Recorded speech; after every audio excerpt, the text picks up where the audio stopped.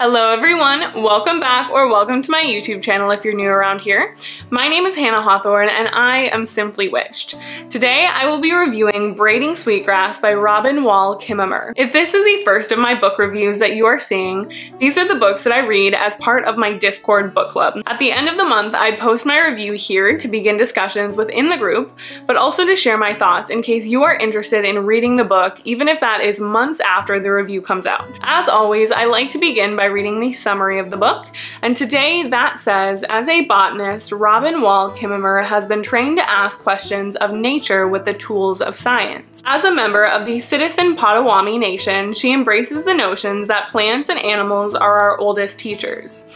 In Braiding Sweetgrass, Kimmerer brings these two lenses of knowledge together to take us on a journey that is every bit as mythic as it is scientific, as sacred as it is historical, and as clever as it is wise. Drawing on her life life as an indigenous scientist, and as a woman, Kimmerer shows how other living beings, asters and goldenrod, strawberries and squash, salamanders, algae, and sweetgrass offer us gifts and lessons, even if we've forgotten how to hear their voices. In reflections that range from the creation of Turtle Island to the forces that threaten its flourishing today, she circles towards a central argument, that the awakening of ecological consciousness requires the acknowledgement and celebration of our reciprocal relationship with the rest of the living world. For only when we hear the language of other beings we will be capable of understanding the generosity of the earth and learn to give our own gifts in return. I think this summary explains what the book is, but it doesn't come close to giving it justice. I cannot give this book enough praise, and it's going to be difficult for me to review this one because I don't have much to add to all of the wonderful things that have already been said within the book. There are so many lessons that I need each and every one of of you to read because nothing I say will come close to giving this book the justice it deserves. I was talking to Colton last night while I was writing the script for this book and I was like, I don't even know what to say because I can't add anything to this conversation. I can only sing praise for this book. It's kind of like when you see a movie that is so good, it is so mind-blowing, you can't even describe it to people. You just want them to go see it. It's one of those situations where you're like, you have to just go watch it. Because even even if I try to describe the plot to you, it is so much more than I can muster with my words. They say that a picture is worth a thousand words, and the author creates a picture within this book, the imagery that was coming to my mind was unparalleled. And I was trying to figure out what was so different about this book that I had never seen before. And then it clicked when the author began talking about how indigenous language is structured. Within English, we have a lot of nouns. Things are person, places, or things. We talk about the natural world as if it is inanimate. And that is so much different than the dialogue that is used within indigenous languages. And if you read this book, you will notice it immediately. And even though this author is writing in English, you are going to be able to tell from the very first page that there is a completely different worldview and perspective that they are able to get across through their writing that I have never seen presented in English. And that was the first thing that I noticed, the writing style, and I absolutely fell in love with it. In the same breath, I want to say that I feel absolutely honored to be able to read the sacred knowledge presented within this book. But at the same time, there is a deep level of sadness to that when you know, and it is explained throughout the book, that this information, this sacred indigenous knowledge, was nearly exterminated, and a lot of it was lost to colonization. You can read articles about the atrocities that were committed against indigenous peoples, but there is nothing like reading the first-hand account, and that is what is in this book. The author talks about how her heritage was stripped from her family and how they were forbidden by law to practice their religion. It was illegal for them to partake in their own culture. And that is something that I've never read. Like I said, I've read articles and historical documentations of the things that have occurred, but it is so different when you're hearing it from the perspective of this author who is saying, my grandmother, my grandfather. And that provided me with a perspective that I could not have gained otherwise. So I highly recommend reading this book for multiple reasons, but one, just to educate yourself on indigenous culture and history. This book really expanded my world worldview and challenged the way that I think about things without being too taxing or unapproachable. It has me finding new ways to adjust my thinking and my language. I rarely buy physical books anymore because I live in a studio apartment and truly I don't have space to keep adding to my collection so I read audiobooks. So as usual I did listen to the audio version of this book which I loved. It is narrated by the author which was really great especially because some of the words I had never heard before and the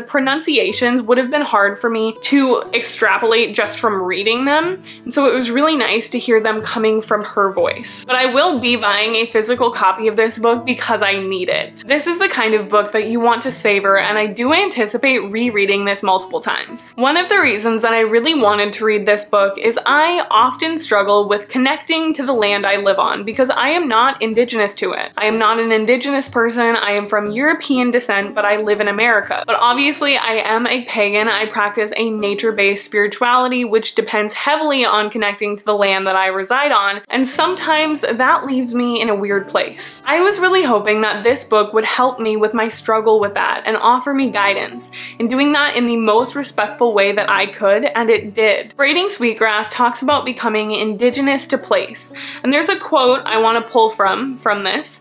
The author says, becoming indigenous to place means living as if your children's future matters, to take care of the land as if our lives, both material and spiritual, depend on it. There is an indigenous creation story within this book, and without getting too much into it, because one, I don't feel like it's really my place to tell that story, and two, I definitely wouldn't do it justice, but essentially it is the story of Sky Woman. She is the first indigenous person, and she falls from the sky to the earth, and she is a stranger to that land. She has never been there before, and so she must turn to the beings that have lived there before her to learn how to live. With the plants and animals as her teacher, she becomes indigenous. And the author challenges the reader to do that wherever they live, to become a steward of their environment. And that story, that chapter, led me to a really good place and provided me that guidance that I was seeking. But my absolute favorite chapter was the Thanksgiving address. It is the thing that I keep returning to. I actually screenshotted it on my phone and I have been reading it every morning. Like the author said, it is a wonderful way to start the day and I have gotten so much out of it. This book is the author's memoir, a story of indigenous culture and her love letter to the planet. She shares her experience growing up around living things and all of the lessons she has learned from them. This is a must read for deepening your connection to nature and understanding your relationship with the earth. And it is the best conversation surrounding sustainability that I have ever seen. In 2022, sustainability feels like it's kind of lost its meaning because every company that wants to greenwash throws it on everything and slaps it on every single product. But this author details exactly what that means and that is consuming at the same rate that you are giving back as an act of reciprocity. She beautifully illustrates that the way that we speak about the world matters. When we look at it as a thing, it is so easy to overconsume and destroy. And the last thing that I want to talk about is the hope this book gave me for the future of our planet. Knowing that there are so many smart scientists like the author Robin Wall Kimmerer who have a deep knowledge and understanding of science but also a deep love and admiration for the planet. I am not a very analytical person. I am not math and science were never my thing. And this book is the perfect culmination between science and spirituality. I hope it goes without saying that I care deeply for the welfare of our planet, but kitty, my cat is scratching the couch. Hey, stop it. Okay. But like I said, I am the creative right brain sort of person, but it gives me great peace of mind knowing that there are people who are a symbiosis of both. People that have both the desire to stick up for the planet, to combat against global warming, but also the knowledge to be able to do so. Like I'm sure a lot of you do, I have a lot of anxiety surrounding the future of our planet. Every day we see acts of violence committed against Mother Earth, like giant trash piles floating around the ocean, oil spills, deforestation, overconsumption, and just the list goes on. And that causes me so much fear, but when I read books books like this by brilliant individuals who have the drive but also power to do something, it makes me want to be part of something bigger. So please, please read this book. I could even see this becoming like a high school biology curriculum must read book. In fact, if everybody was forced to read this book when they were growing up, I think that we would be in a much different position now. So that is all I have for you today. I hope that you have enjoyed this video. If you have, please like, subscribe, and turn on the bell notification. The next book that I will be reviewing and reading for our April Discord book club is Welsh Witchcraft. So if you would like to read alongside me, we will be beginning on the 1st. I do also announce these books on my Instagram on the 1st of every single month. So to join my Discord and to keep up with me between uploads, all of my other platforms will be linked down below. So until next time, have a magical rest of your day, blessed be, and bye everyone.